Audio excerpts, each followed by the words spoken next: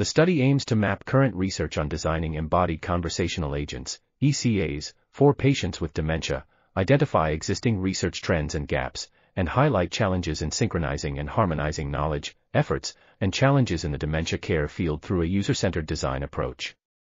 The review questions were 1. What research frameworks are used to study the interaction between patients with dementia and ECAs? 2. What are the findings?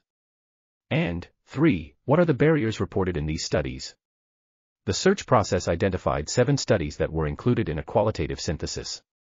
The main themes and subthemes identified were 1. Research frameworks used to gather users' perspectives on ECAs, 2. Insights shared by the studies as well as the value of user involvement in the development phases and the challenge of matching system functionalities with users' needs, and 3. Methodological and technical problems faced by each study team.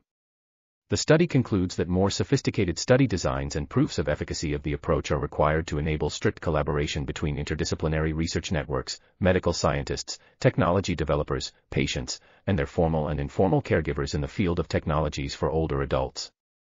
This article was authored by Margherita Rampioni, Vera Stara, Elisa Felici, and others. We are RTCL.TV, links in the description below.